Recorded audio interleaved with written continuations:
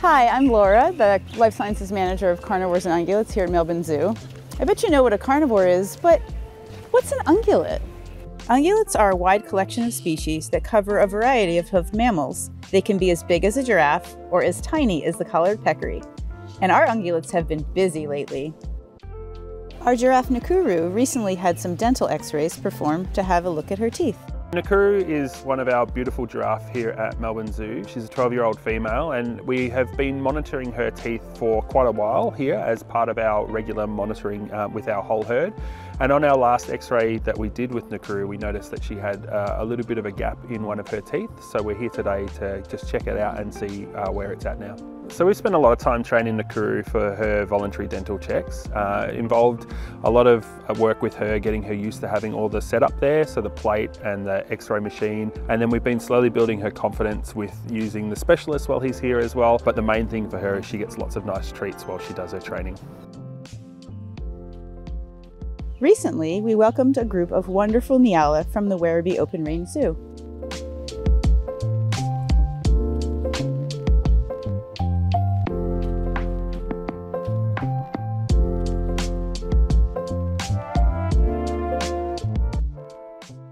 Felix, our pygmy hippo, has learnt a whole host of different training techniques, allowing keepers the ability to inspect and take care of different parts of his body.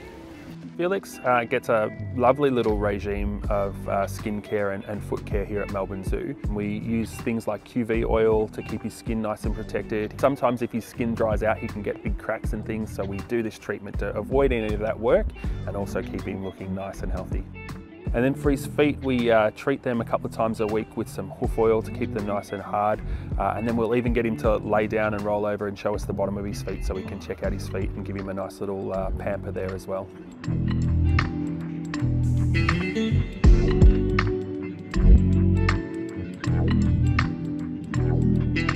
So I'm working with an animal like Felix. Uh, he is a little hippo, but he's a heavy little hippo at 270 kilos. So getting him to help us with his health care is really important and his feet are no different. So the cool thing about hippos is when they are out on the land, they actually produce an acid called hipposudoric acid, which then is like a sunscreen for them. It's also like an antibacterial for them, keeps their skin nice and healthy and nice and clean, and helps them look after themselves out in the wild.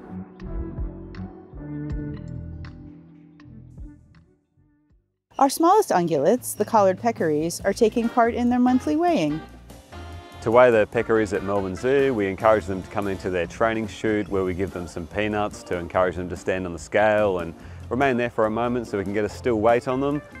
And we also touch around their hips so we can feel their condition against their hip bones to get a good idea of their condition under all of that hair. Uh, so we always make sure they're sitting around 24 to 26 kilos for these three. Peccary aren't pigs, they come from a different part of the world, so the peccary are found in North, Central and South Americas, while the normal pig or wild boar is found in Europe, Asia and Africa. Uh, you can tell the difference of, between them is uh, peccary's got a really small stubby tail that's almost hard to see under all that hair, while the normal pig has got a longer tail that can stand out or even be curled up. Uh, the peccaries make a few noises, they can make some little barking noises at each other, or if they're being protective over their food, sometimes they'll chatter their teeth together to make a really loud clacking noise.